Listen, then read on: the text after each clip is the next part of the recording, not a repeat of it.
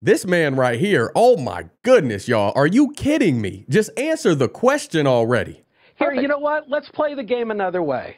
I Oh. spent a little while just sort of doing Wait, some no, research actually, on you. let- why don't you answer? Let me, this let is me what I ask you this question, with. if you Tucker would. Carlson falsehoods. Okay. And I can sit here and I can read them to you one I at a time. I appreciate it. All and we can talk about what you have to say.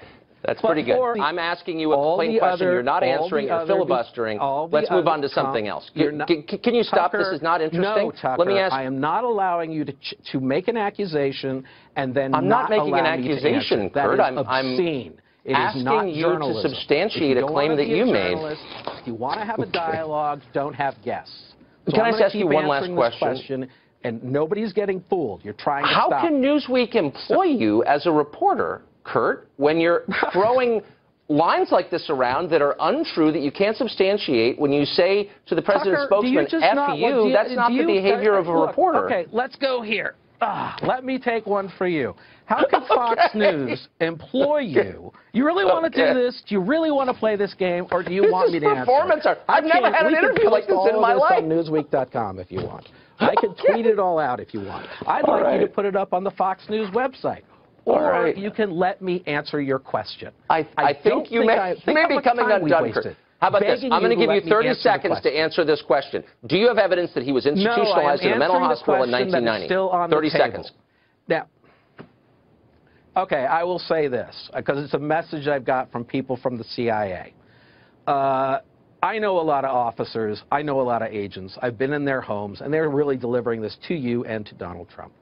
Uh, these are people who have sacrificed a lot for this country. They What's go the through message? into the CIA every day. They walk past that wall with 117 I get it. What's the message? stars you, if, if you're going to say that we can't talk about the fact that there are 117 patriots whose lives have been lost serving this country, that's fine. I have Right I'm starting now, to have concerns about you, in- Kurt. Right now, tell me what the, the secret message from the CIA is. who are putting their lives on the line, who are to be sources of information for the CIA. That information is coming in. That information is then being put together by analysts who are uh, not well paid, and they do very hard work, and they do it because okay. they are. I'm sorry, we're, we're out of time, Kurt, and, and I, I don't mean this and in I. a And in then a cool way. I, around I would have real concerns if I were one of your editors and I fake mean that. I'm not calling anyone a It's liar, despicable. but I am It's saying I'm concerned about your behavior on this show tonight. But uh, thanks a lot for joining us. That's because And you I- won't I let me appreciate it. answer your questions. I don't think Okay. anybody. Now, legend has it that old Kurt Eichenwald still has his rinky dink binder in hand, standing outside Fox Studios, and over six years later, he still can't and is attempting to answer the question that Tucker Carlson asked him. Absolutely ridiculous. And this is the kind of guy that, in his mind, he wins every single argument that he gets into. And Tucker made a great observation when he said, I'm starting to have concerns about you, Kurt. And me too. I think that we can all come to agreement that we can probably all feel the same after watching this video right here. Come on, man. Let's be honest. Where, where's the proof? Can we get a little something? Can we see just a tiny glimpse of evidence on Trump, on Tucker? You're Like you had a whole binder on my man. Can we get some details on, on Hunter Biden's laptop, on the Clintons' dirty deeds? I'll wait because I just want just a tiny bit of substance with cold, hard, open and shut, case closed facts. Can we get some of that? I'll wait. Oh, yeah, that's right. Y'all don't have anything. You're empty handed and mouth wide open, as usual. Not an iota of evidence. That's the same thing time and time again with these loony liberals. Just repeating the same process time and time again, getting the same results. Nada. Insanity. That's exactly what we see here. I'm feeling generous today, so I'm going to let you guys in on a little secret, and this is really for the leftists out there watching. The truth shall set you free. So why are you so hell-bent on misleading the public all the time and enslaving yourselves with lies? Because what's done in the dark will always be brought to the light. And if there wasn't any sin committed that already hasn't been dealt with, aka the Donald Trump things of the past, you got things of the past, I got things of the past. I've repented of my sin. I've turned from my wicked ways. I'm assuming Donald Trump has as well. Is he perfect? No. Are you? Am I? Absolutely not. Only Jesus Christ is. But when you keep bringing up these past issues and just constantly just leaning on them and just just reiterating over and over and over, you're, you're bearing false witness and you're blatantly degrading other human beings, blatantly disrespecting and bashing, belittling, tearing down families. I know that conservatives, Republicans don't have it all figured out.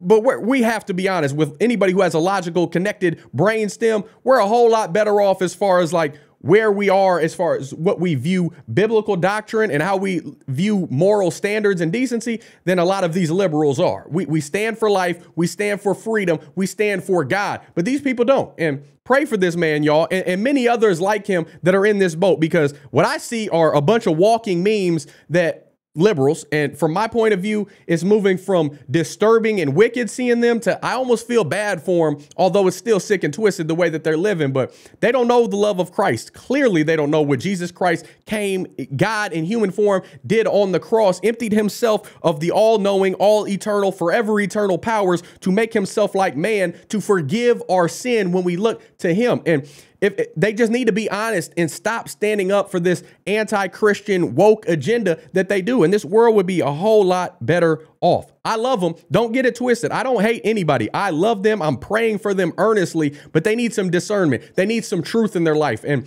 God demands that we love one another, but that doesn't mean that we avoid these difficult topics. That doesn't mean that we avoid pointing out sin when we see it. We're called to judge righteously with right judgment, to hate sin just as Jesus did, because we want them to turn from their evil, sick, and twisted mindsets to righteousness. And it's high time that they repent and turn towards that, that narrow road that leads to salvation because the, the road is wide that leads to destruction. Hey, and, and they got a whole party going on. They're YOLOing it up all the way to hell. Gnashing of teeth, fiery furnace, wailing and crying. They don't want that. I don't want that for them. So I'm honestly always going to share the gospel on my platform that I've been blessed with. And it's time that they accept Christ as Lord and Savior. God bless their souls. That's all I got for today, though. Let me know what you guys think in the comment section. Let's keep this conversation rolling. If you enjoyed this video, got some laughs from it, some value, whatever you got from it, uh, smash that like button, subscribe if you're not already, ring the notification bell so you get notified anytime I post a video. If you want to show a little extra love, you like the shirts you see me wearing, my wife make these, makes these on her Etsy store. If I could speak English, it would be a beautiful thing, but stay with me. She makes these awesome designs on her Etsy store. This says, be the light, Matthew 5.14. She's got a bunch of different Christian, American, American, scripture, all that sort of stuff over there. Insulated tumblers like this We the People one you see right here. All of that. If you want to show a little extra love, you can find that in the description section. Outside of that, shout out to my Patreon and buy me a coffee members. I'm forever grateful for you guys. I love y'all for putting your hard-earned money behind me, allowing me rant to rant and, and do the things I do. I am just so, so grateful. I can't put it into context with words how awesome it is to have y'all back in this channel and showing love because, you know, a lot of times YouTube demonetizes these videos that that have Christian doctrine that, that unveils the, the cancel culture, woke mindset, and, and calls these people out. So I appreciate y'all that follow me on Rumble, that rock with me on Patreon, buy me a coffee, you donate on PayPal. You don't got to do any of that monetary stuff at all. Again, just showing up, watching me on screen, that that goes far enough. But if you want to take it the extra mile, you're more than welcome to, and, and, and we love you for it. But you can also hit the thanks button here on YouTube as well. But that's enough ranting. I love y'all. I'll be praying for you and all these crazy people that we see in the world. Until next time, Godspeed. I'm gone.